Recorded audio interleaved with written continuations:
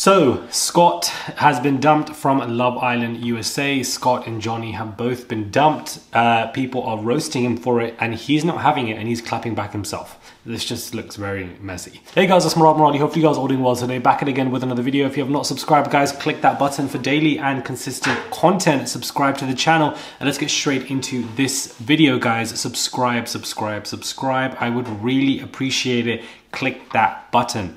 So Scott has been dumped, Johnny has been dumped. You know, they both, you know, came sixth and coincidentally Scott came sixth, you know, on the UK version of being dumped on the show as well. So that's, you know, very interesting. It's giving fixed, in my opinion, a very odd sixth as well. But you know, a lot of people are reacting to his um, dumping and they are just laughing at him. I'm not going to lie to you guys. It does not look good for, for Scott right now. Um, people are just cussing him out. The thing is, um,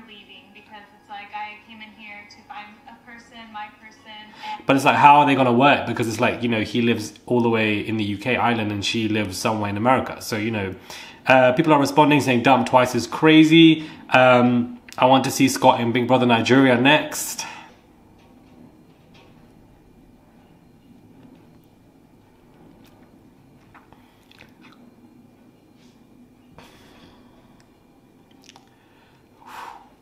Australia next. You lot are taking a piss, man. Scott is so embarrassing. Tyrique was right. Love Island is just not for him. Um, he looks so fed up. He should have stayed home. Um, married at first sight, Australia next. He has responded and he has tweeted saying that, you know, um, some of you guys liked it, some of you guys didn't. Oh well, if you guys didn't like it, go and see a castle or something like that. Basically saying that, you know, if it wasn't for you, just get over it and go back to your full-time job or, you know, whatever you're doing, go see a castle, go pick a day activity, like get over it. It's not that serious, was his response via Twitter.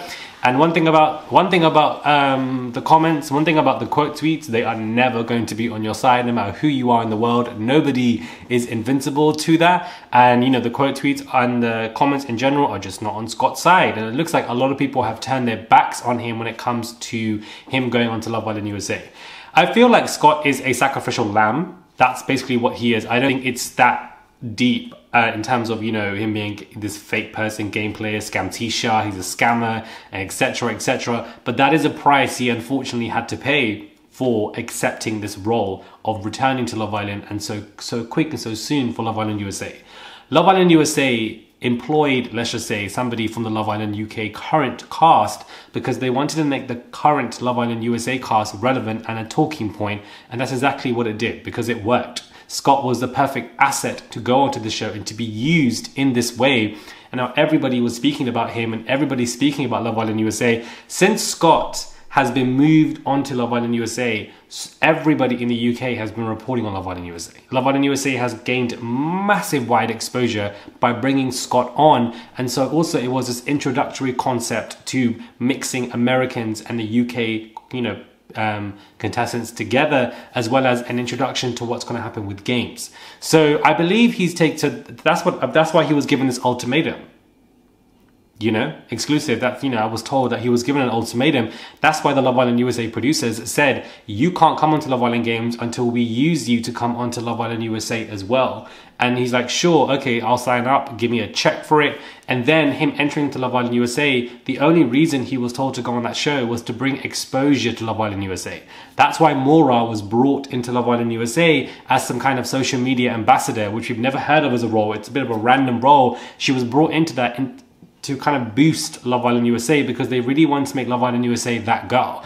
And look, it worked everything that they have done to try and gain exposure for the show, bringing Maura on, you know, bringing Scott on as well, um, other messy viral moments. It's worked Love Island USA. Everybody's been talking about it. But Scott being employed onto was one of the most clever moves the producers have made because it gained widespread exposure. It gained exposure from the UK, and that's what the Love Island USA producer girls want. They want exposure from the UK onto the Love Island USA format. So Scott was just used as this kind of, you know, asset, the sacrificial lamb to go on the show. Whereas the majority of the public believe that he was really going on to Love Island USA because he's a game player, he never liked XYZ, and you know, he really is fake, and you know, etc. etc. It's just unfortunate that it just gives credence to all of that. And you know, that's why people are just gonna see it. And that's how they're gonna see him. So whilst it helped Love Island USA, it hasn't helped Scott. I don't think him going on to Love Island USA will help him at all on a longevity matter because to everybody it just looks like you are a game player, you ran onto Love Island USA and you just got dumped and now you look like you're more of an idiot. Like you didn't even reach the finale on two shows in less than two months. It just doesn't look good. So while Scott probably doesn't care and you know probably is annoyed by the backlash that he's getting, obviously he tweeted and etc. I would have suggested him not to tweet, but I'm sure that he just he'll get over it and he'll be fine. Um, yeah, they kind of just used him. And, you know, clearly everybody's dragging him, Scottisha, Scamtisha, they're calling him now, go on Big Brother Nigeria, you know, um, Married at First Sight. Ma they really said go on Married at First Sight Australia when he's not even married, or he's not even trying to get married. Like, it's really wild what people are saying, but, you know, clearly it gives credence to that because that's what it looks like. It looks like he's just gone on and jumped between shows when really and truly, he was never meant to go on Love Island USA. That was never meant to be the plan.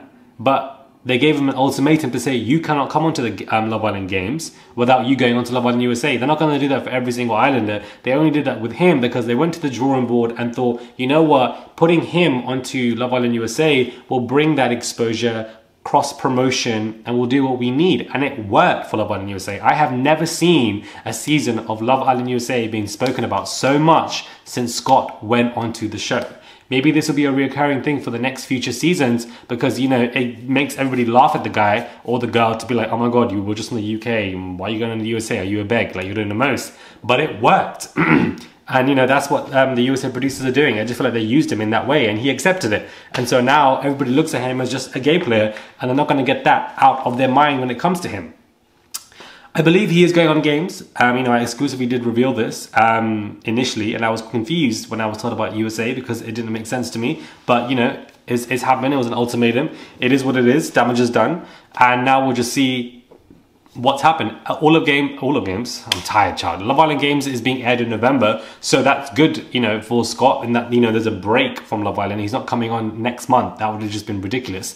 Uh, but we'll just see what it does um, for him. We'll see what Love Island Games brings. You know, Maya Jama is hosting it, so it's great to kind of recognize somebody who's a main host from the UK over in America. Again, the USA are bringing people from the UK over because it's cross promotion, it's exposure, and etc. And that's what they want them to do. So we'll just have to see what she brings. But Scott, um, yeah, he is irritated by what people are saying about him. He's not feeling it. He doesn't like the response. He doesn't like people turning on him. And that's exactly what is going on.